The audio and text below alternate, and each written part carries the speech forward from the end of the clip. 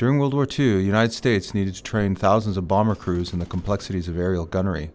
Along with traditional methods, one was secret until being revealed in a popular science article in 1943. Long before video games and virtual simulators, the Waller Gunnery Simulator was a complex system designed by Fred Waller and the Vitarama Corporation.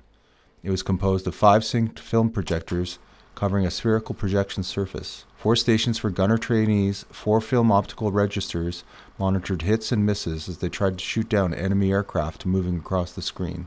A referee above with a console marked down hits and misses as the simulation was played out.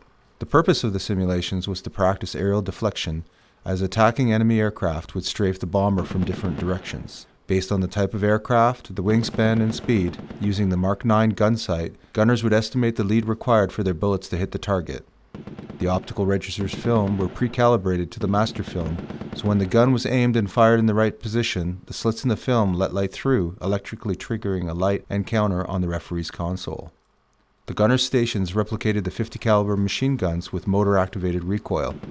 Bullets fired were recorded and hits created a high-pitched tone in the gunner's headset. The referee recorded hits to shots fired for a final tally.